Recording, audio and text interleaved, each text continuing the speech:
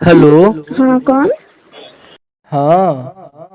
हाँ कौन बोल रहे हो जी अभी मिस कॉल आई रहे अच्छा कहाँ से बोल रहे हो आप? चंद्रवंशी टोला से।